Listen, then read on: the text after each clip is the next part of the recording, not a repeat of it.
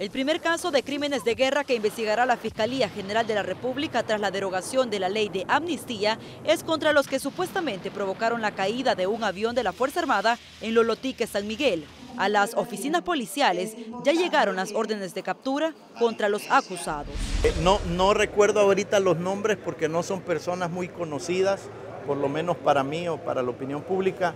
No tengo a la mano los nombres, pero sí efectivamente recibimos eh, tres órdenes de captura eh, que nosotros tendríamos que estar eh, buscando a las personas para detenerlos. En el hecho ocurrido en 1991 fallecieron tres asesores estadounidenses, quienes supuestamente estuvieron detrás de ese operativo fueron grupos de guerrilleros del oriente del país.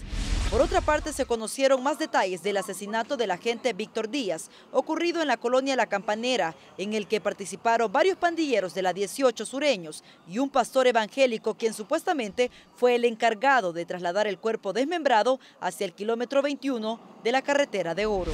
Lo capturamos y al entrevistarlo, él reconoce que y dice inicialmente, obviamente, dice, sí, yo lo fui a recoger porque me pidieron, pero eh, yo no sabía qué contenía, eh, no, no, sabía que iba ahí. Ya más tarde, eh, en la entrevista, él dice, no, como no, ya él tenía pleno conocimiento de qué es lo que estaba pasando.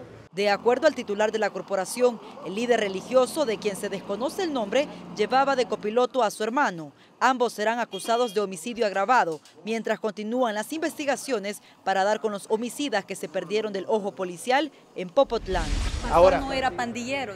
El pastor había sido pandillero, presumiblemente se había retirado, ¿verdad? Eh, pero eh, parece que no. El director Howard Cotto asistió a la alcaldía de Quesaltepeque para escuchar y compartir los avances en materia de seguridad. Ahí resaltó que hasta la fecha a nivel nacional se registran 1.980 homicidios, 40% menos que en 2016. chica, pero tener 10 homicidios al día es un montón. Sí, claro, claro pero caramba, el primer trimestre del año pasado lo cerramos con un promedio de 22 homicidios al día. Entonces, claro, a veces quien solo habla, habla bonito, ¿verdad? pero trabajar para lograr esos niveles de reducción. Reiteró que los enfrentamientos entre policías y pandilleros se han incrementado, 295 en lo que va del año. Estos han dejado 298 muertes de supuestos pandilleros. Los cuatro de ayer sumaron seis muertes más. Y tampoco vamos a negar que vamos a hacer las acciones necesarias para que nuestro personal tenga mayor capacidad de defenderse y si ustedes me lo preguntan, les tendré que responder sí.